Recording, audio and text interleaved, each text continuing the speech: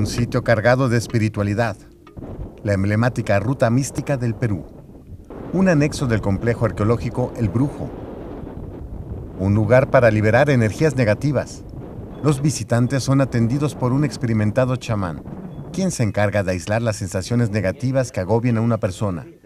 Julio Pérez, un experimentado curandero, ofrece sus servicios con tradicionales limpias de las energías guardadas en el cuerpo y espíritu. Hierbas, perfumes, alcohol, acero y la energía empleada hacen su función de limpia en cada persona. Se utiliza también varas de chonta, es una planta, una planta muy, muy antigua de, de la Amazonía y muy dura también. Entonces, en eso consiste las limpiezas. Ubicado en el norteño departamento de La Libertad, los visitantes pueden realizar un baño de florecimiento en un pozo ceremonial. Allí las personas experimentan una conexión con el agua y dejan todas las cargas negativas que les pueda estar afectando. El chamán ha colocado un altar a la señora de Cao, una poderosa mujer que gobernó todo el valle de Chimaca hace 1700 años atrás y representa una fuerza mística por haber sido curandera.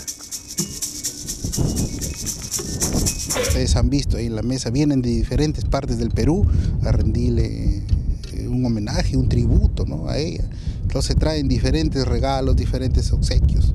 De parte de su parafernalia de ellos vienen y dejan aquí. Además, la ruta mística ofrece visitas guiadas por la Huaca Cao Viejo y el Museo Cao, donde se encuentran importantes bienes de la cultura Moshe y el cuerpo momificado de la señora de Cao. Con información de la oficina en Lima, Perú, Noticias Xinhua.